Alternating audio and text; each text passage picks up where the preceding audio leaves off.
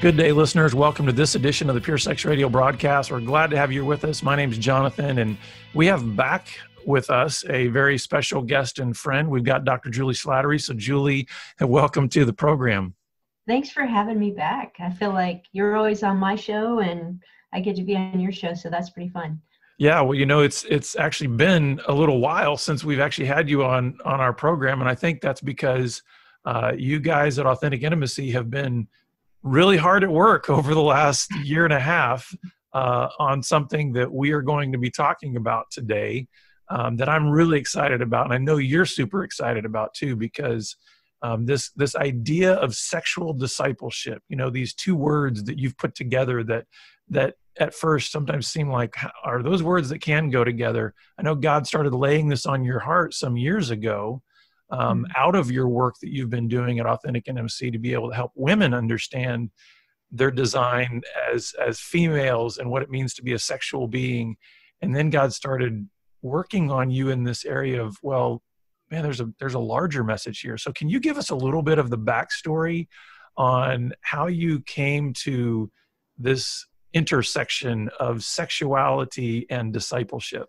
Yeah, I'd love to. Uh, I, we've been doing AI for, I think it's eight years now. And along that journey, I feel like God just teaches me new things and unfolds kind of deeper truths of what we're doing. And so, probably at about year three or four, as I was doing all this work with Christian women, really around the country and even in other countries, one of the things that I noticed was that for a lot of women, sexuality felt like a disconnect from their relationship with God. And so, even women that knew the scriptures, were faithful in Bible study, faithful in church community, when it came to the application of that to their sexuality or even to sexual questions that the culture is facing, they, they almost felt like a deer in the headlight of, well, I don't know how to apply this. And the more I thought about that, the more this concept came to me that most Christians have been sexually discipled by the world. Uh, and the distinction is that at church, we learn what to think about certain sexual issues, like uh, wrong to have sex before marriage? Um, is gay marriage wrong? How about pornography? we we talk about the list of do's and don'ts, but the world has trained us how to think about sex, um, like how to reason and why it's important. And so this concept started to just be intriguing to me of basically at Authentic Intimacy, what we've been doing is we've been sexually discipling women in their sexuality, not just telling them what to think, but really teaching them how to think biblically about um, why God created sex and how that applies really to every stage of life. So that's sort of the backdrop, and then we've we've kind of gone from there. yeah, and I want to I want to keep maybe uh, unpacking just that idea of discipleship because you know it's it's our uh, it's our mandate from our lord right? Jesus said this is your job is to make disciples you know? Um, and there is a there's a training element there. I mean he said to teach them to obey everything that i've commanded to you right? Baptizing them in the name of the father son the holy spirit. There's this there's this mandate that we are to make disciples. I think sometimes like you said we have relegated that to the realm of education. Right. So so we think we're being discipled or we're discipling others when we simply give them the quote unquote correct information from a biblical framework, right? Yeah. But help us understand when you talk about the difference between like what to think versus how to think, what's the bridge there? Because I think sometimes people I mean, I know that for me, for the longest time, I sort of had a disconnect when somebody would try to describe to me what you're saying is discipleship because I thought, well, wait a second, I've been I've been memorizing scripture and I've been going to church and I've been I've been praying and and I you know I I have my quiet time every day. Isn't that like am I not a disciple of mm-hmm. Jesus? Mm-hmm. So can you because so I think a lot of people understand what it is to be in that camp of the the what like mm-hmm. what where are the lines what is true what is false but really struggle to know how what's the bridge that crosses over into more of how i actually think and and more than that how i actually connect to this following of jesus Yeah, uh, really good question. Um, you know, let me start with even just something that Jesus said. He talked about how our words are the overflow of our heart. And he said, what really is wrong with you is not what you're putting in your body, but what's coming out of your body, it's coming out of your heart. And uh, I think a lot of approaches to sexuality within the church are about trying to change behaviors and trying to get rid of symptoms rather than going to the heart level of what do I really believe about sexuality? And have I surrendered this area of my life to the Lordship of Jesus Christ? And that's a very different line of questioning than just how do I stop looking at pornography? Um, so, for example, uh, you know, the average Christian married couple will be asking questions like, what do we do if we disagree on how often to have sex? Uh, or what if I'm not satisfied in our sexual relationship? That's a very symptom related question. And I can answer those questions like tactically, like, well, maybe if you compromise or communicate, but really you're not discipling people when you give them those kind of just practical skills without prompting them to ask the deeper questions of what do you think the purpose of sex and marriage is? And what would it look like to surrender this aspect of your marriage again to the Lordship of Jesus Christ? So let's start with the deeper issues of what we're believing, uh, what our heart is aligned with. Is it aligned to my desires or is it aligned to the will of Jesus Christ? And let's start at that level, and then we can build the practical out of that deeper level of thinking and surrender. And when Jesus talked about discipleship, he didn't talk about behaviors, he talked about the posture of our heart. Uh, and so discipleship is much deeper in terms of looking at why we believe what we believe. And again, what is the posture of my heart towards the Lord in this area of my life? Yeah, and one of the things that that comes to my mind as you're saying that is is I do want to make it clear that we, you know, discipleship is not disconnected from information.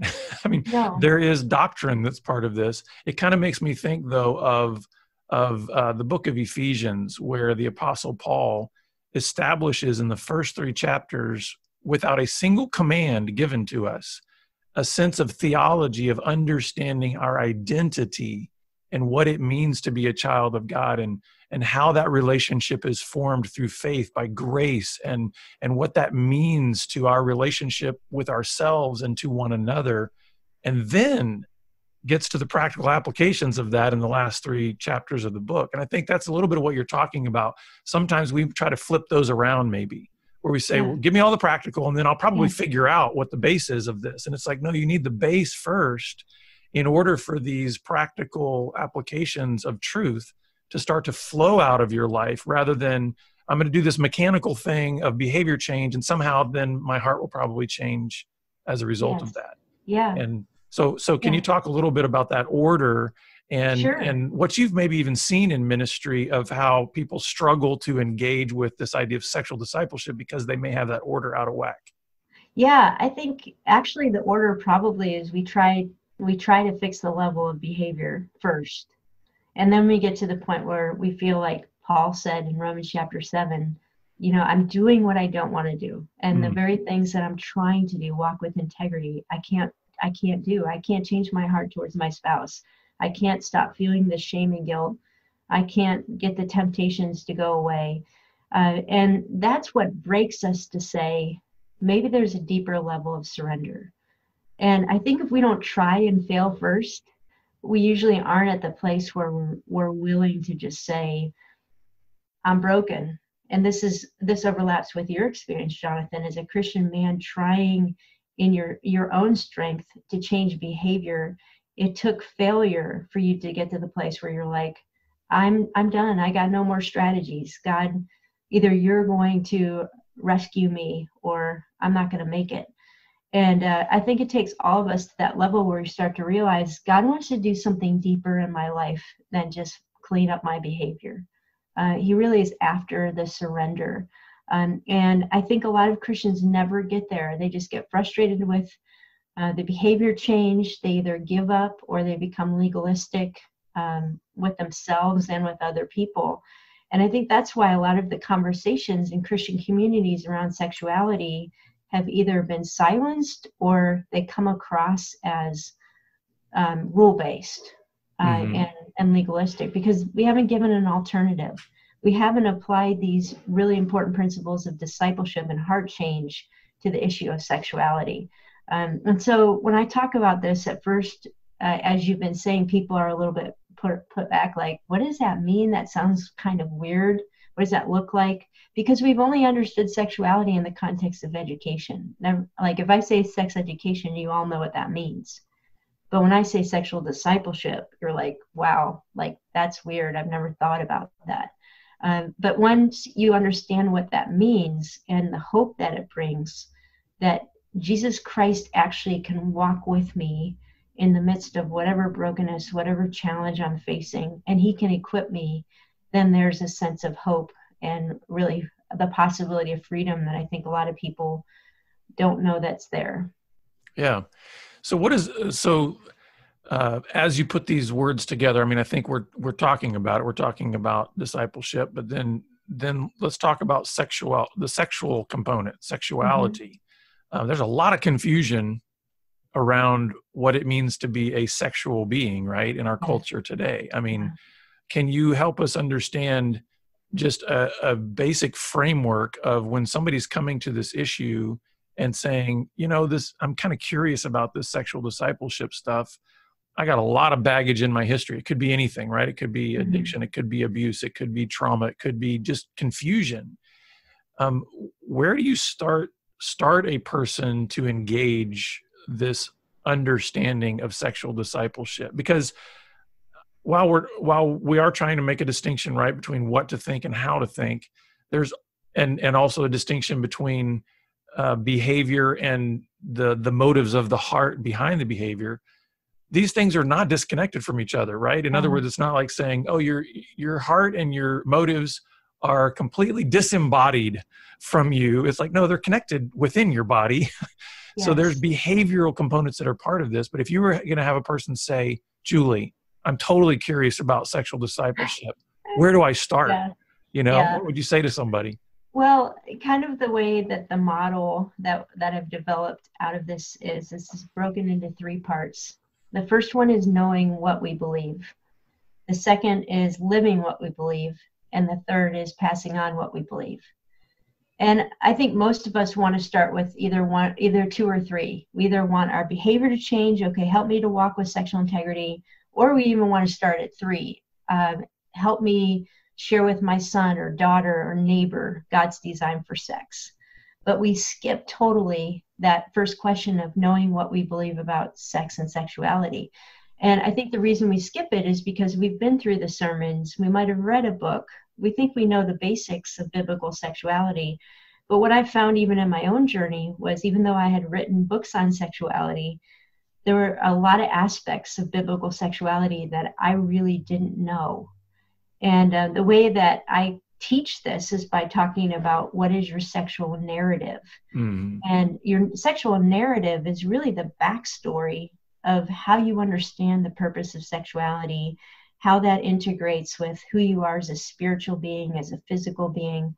And there's a couple prominent narratives that mo- that have really impacted our thinking that we we're not even aware that this is the backdrop of how we're thinking through these issues. Um, so, like one of them is just the predominant cultural narrative of sexuality, which says your sexuality is all about your identity. It's about your personal expression. And for you to be a happy, mature adult, you need to discover what you need sexually. You need to experiment. If you're in an unhappy marriage and you're not sexually fulfilled, then that's gonna that's gonna hurt you, and so you need to get out of that marriage. Um, and so that cultural narrative, you can see it playing out so much in movies and television shows, in school curriculum. Uh, that are, is basically saying if you want people to be happy and healthy, remove restraint and let them be who they fundamentally believe they are sexually. Um, so that's the prominent narrative. And then the traditional church narrative, I think, also has played a lot into our thinking, which is uh, it has some truth in it, but it's simplistic. It basically says sexuality is important because it's this really key part of honoring God. And if you disobey God sexually, you're kind of a second class citizen in the kingdom of God. Like He can forgive you, but sexual sin is unlike any other sin. It brings the shame. And the whole goal is to avoid immorality. The whole goal is to stay pure until you get married, not cheat on your spouse. Uh, and I think that's what most of us heard about sex from Christian resources growing up, which have has given us again a legalistic, very mm-hmm. limited view of why sexuality matters. So, uh, Jonathan, you've heard me teach on this many, many times, but I, I really think there's a third biblical narrative. There's a third narrative that God would want to push us into that totally changes the paradigms of how we view every sexual issue. And so that's really the first place to start is to dive into what does the scripture really say about sex? Not just what we're not supposed to do or what we're supposed to do, but why does God even care about this part of our humanity? Why is it so sacred? And so that's where we begin with sexual discipleship. And I think it's so good to to help people uh, have a starting point of knowing like where are they within those narratives. Uh, yes. Uh, because you know one of the things that we we talk about in our ministry all the time is you know you can't get to where you want to go if you don't know where you're starting from so when we like in our workshops, when we're talking about guys that man, they've got a bunch of sexual addiction or pornography addiction, they're coming from all this brokenness, and they're coming and they're saying, you know what, I just want to get away from all of this pain, away from all this stuff. I just want to be over over here where life is, you know, where there's a sense of peace and purity and integrity and all that. And we say, well, um, how do you think you're going to get there? How do you think you're going to navigate a path there if you don't have a real solid understanding of where you're starting from? You might as mm-hmm. well just throw a dart in the dark you know? And that's the painful part i think of this process right? Is there's an aspect of which we've got to pull back the the curtain so to speak and pull off the masks and say i need to i need to take an honest look at myself. What have i been believing about my design as a man or a woman? What have i been believing about um, sexuality, identity. Uh, and for, for many of us, well, for all of us, we're going to start from a place of brokenness. Right. Because none of us have managed any part of our lives perfectly. Mm-hmm. And and so I think it's important too then to that we we let people know that when we're inviting them into this process of sexual discipleship, this must be a grace-based environment. Right. right? Because yeah. like you said i mean even with a lot of the the simplistic sort of purity narrative or or you know the simplistic the the legalistic aspect of of sexuality it's such a shame based um paradigm mm-hmm. a lot of times right because mm-hmm. it's saying well guess what if you don't fit in this very narrow picture if you've ever stepped outside of that then you know shame on you right and it's very hard to want to step back into like a church environment or step back into uh, even a biblical framework if you're carrying all that shame. So can you just say a word to the folks out there who's saying, "Man, I I don't know where I fit on the spectrum, but I am carrying a lot of hurt.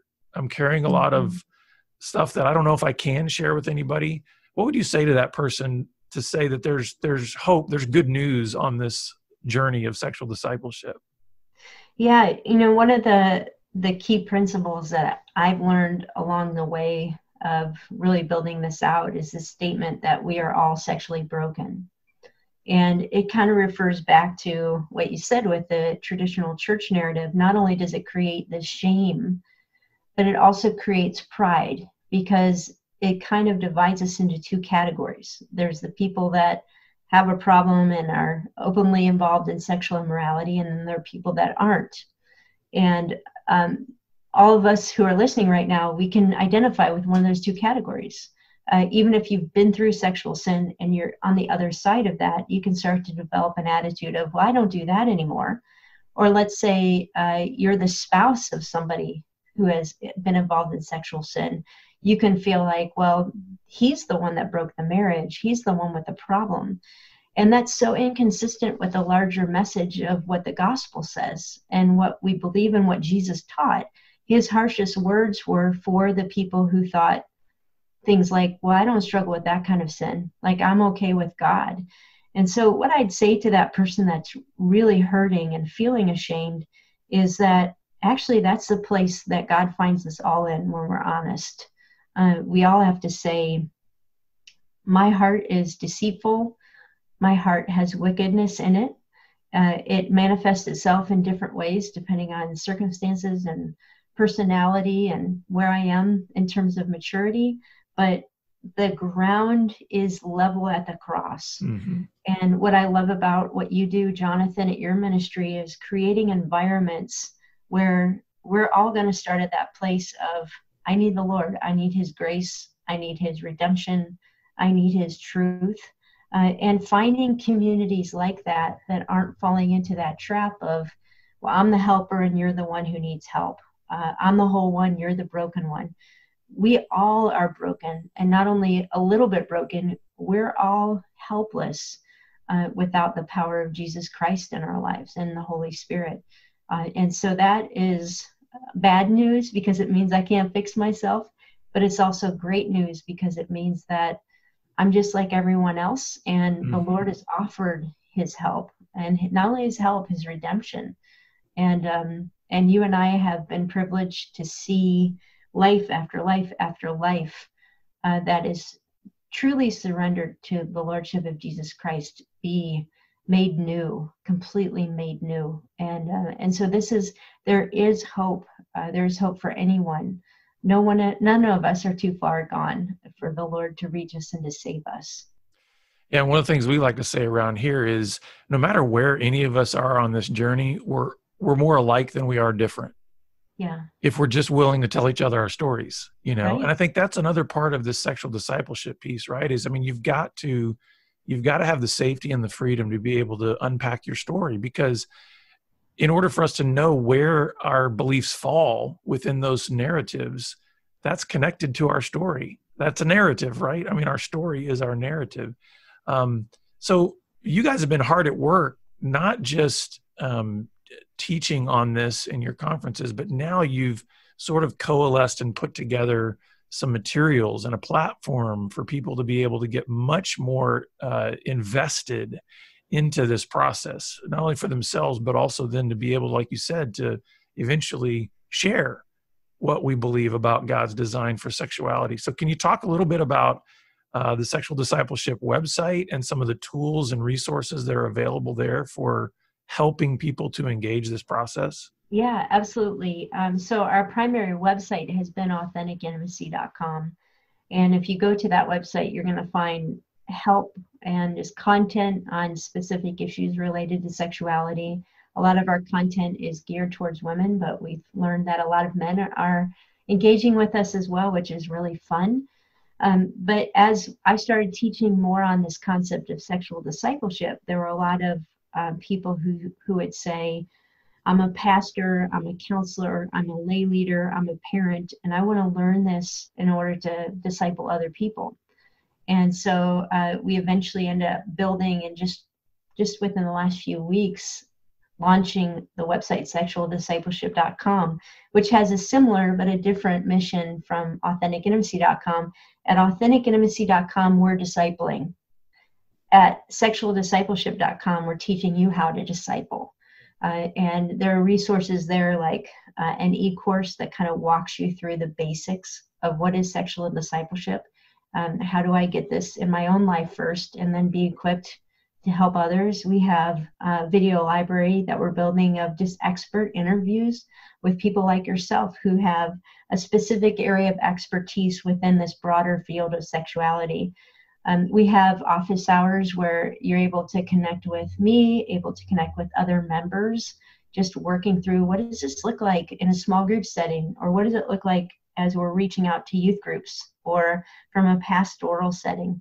And so that platform is really designed more for Christian lay or vocational leaders who have a passion for this topic and feel like, hey, God is calling me to do even informal ministry on this topic, and I don't know where to start. Um, so we're really excited about that and just to see people start to sign up for that and engage with us and engage with one another is just uh, hopefully just a vision of what the Lord has. Yeah. So in, in our last few minutes that we have here, I do want to I want to set proper expectations for people that want to engage this process because I think you and I both know that when you when you really begin to understand and seek to apply God's design for our sexuality and and place it within that larger context of the the beautiful picture that God has given us of the intimacy between Christ and his church and that oneness and the covenant and all those kinds of things. I think we've recognized as anybody will man, there's some challenges, there's some obstacles, there's some things that are going to get in your way, not only of understanding that, but of applying that. So if if you think about your own life, or you think about even as people have you've sought to disciple people through this process, what are some of the primary challenges that you've seen people face? Some things that have tripped them up, some things that have really confused them. What would you share with people so that they have some some kind of proper expectations going in that it's not like hey if i just get my intention set in the right direction it's all smooth sailing? Yeah really good question and i've definitely experienced this on my own journey. I think most of us if you're resonating with this conversation you feel like maybe you've gotten to a certain level of sexual wholeness where you're like okay i'm good. Like now i can start helping other people but the way God works is He continually works on your heart as He equips and prepares you to help other people. Um, really, discipleship is the overflow of one life onto another. Mm. And so uh, you cannot disciple anyone further than God has taken you. And one of the biggest, I think, that trip ups that people get, and it's like, whoa, I didn't expect that, was um, what God may do first and foremost is to reveal in your own heart like pieces of this that you've never understood pieces of this within your walk with the lord within your marriage that you're like wow there's a lot of unnamed brokenness that we've been walking around with. I think first maybe we need to look at that. And i need to invite the lord to do some healing in my heart. And then out of that will come new life and ministry. So i think that's part of it people are always looking for that quick fix give me the five steps to this or seven steps to this. There's jesus never did that. Discipleship is messy. It's a lifelong journey. It has a definite direction and source of truth but there's no set process. And so a lot of it is trusting the work of the holy spirit to use the word of god to use the body of christ to just shepherd you as you shepherd other people. And that includes in our parenting. There's no easy, if you just do this and this and this, it's all going to turn out great. Um, we live in a messy world with a spiritual battle always going on around us. And the more we can ha- get at peace with that concept and just rely on the leading of the Holy Spirit, uh, He does direct us, but it doesn't look like a simple plan. So those might be some expectations. Yeah, I was listening to somebody recently that was talking about how um, uh, we have made the mistake in the church of of again thinking that discipleship is about knowledge mm-hmm. of information, when actually discipleship is about um, understanding where your attachments are, and mm-hmm. it gets back to that heart issue, right? Yeah. So if I'm actually a, a, a growing in my discipleship then there is a greater sense of affection and attachment to God and His ways than simply um, I'm checking the box. Because in other words, I think I think what we've been describing here is when we have that behavior modification, and that's that's one of the challenges that I see so many people run into is like, no, stop telling me about my heart. Stop telling me about you know these underlying truths. I just want to know. Tell me what to do. Give me the list of seven things and and i think one of the things that we need to do as leaders and encourage other leaders to do is no keep beating the drum of the heart because it's yeah. really you know it's the wellspring of life. It's out of the overflow of the heart the mouth speaks. You know it's the heart that where your treasure is there your heart will be also. There's this sense of it always comes back to the heart. And and i think um we if we get that out of whack then we're constantly going to be frustrated on this on this journey. Uh, so I think a little bit of what I'm hearing you say is get a little more familiar and comfortable with the mess. Yes. Like that is yeah. just not always going to be comfortable. It's not, and I don't think that's the message we want to hear. Right. No. I mean, uh, our message we want to hear is no, Juli, what I want to hear you say is if I go to sexualdiscipleship.com and I start diving into these resources, in six weeks, it's going to be all figured out and it's going to be smooth. so I, I wanted, before we entered the program, to make sure that there's a proper expectation set for people that we're on a lifelong journey here. Um, and the hope is that as we are on this journey, there are stages in which we are at a place where we have more to offer to somebody who may be just stepping on this journey, but none of us are ever done. So, what final word of just encouragement would you have to our listeners out there for wherever they are on this journey of sexual discipleship? Yeah, um, you know, even listening to you talk, Jonathan, when you said people don't want you to ask about the heart, they want the seven steps. I think the question that we ask ourselves is why? You know, why are we more drawn to if you do this, do this, do this, do this, you're good, rather than what in some ways might even sound easier, just open your heart. Um, and it's because we've built so much fear and guardedness around our heart that we think God is going to take away something that's precious to us. And that's that's a lie of the enemy. You know, Jesus doesn't come to take away; he he comes to give life. And um, and in order for us to experience the resurrection power of Jesus, we also need to experience a part of dying to that mm. stubbornness of self. And um, yeah, that's really the message of all of what we're saying. My three sons often tease me about my job, like talking about sex. They're like, that's a weird job. But one of the things that I tell them all the time is really, I don't talk about sex, I talk about the Lord. Mm-hmm. You know, sex is just the conduit, it's, it's the symptom, it's the piece of our heart that hurts that really is prompting us to ask the deeper questions about who is God, who is He to me, what is forgiveness, what is grace, what is redemption. And so, my word of encouragement would be that this is not about sexuality. It is about sexuality, but at the heart level, it's about the only thing that matters uh, the work of Jesus Christ, first in our own lives, and then how we evidence that work of Jesus to a watching and hurting world. Well, Juli, it's always just such a delight to have you on the program. I, I feel like you're my second big sister, you know, so it's a joy to do ministry alongside of you. So thanks for your uh, your words of encouragement today. Thank you for what you guys have been doing and building out these resources for sexual discipleship. And we'll be sure to to point people to the sexualdiscipleship.com website. But just we appreciate you. Thank you for being here today. Well, thanks. I feel the same way about you and Be Broken. It's just great to have you as a brother ministry and co laborer. Yeah. Well, listeners, uh, definitely go to sexualdiscipleship.com to learn more about the resources that uh, Juli and her team have developed to help you um, deliver this great news to people wherever they are in their journey. Uh, we're glad that you've been with us. And We look forward to seeing you back here again next time on the Pure Sex Radio program. So take care.